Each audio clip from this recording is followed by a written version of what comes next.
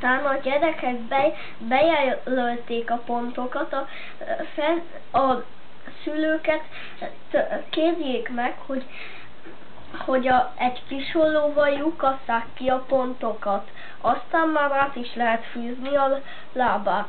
Ó. Nézzük.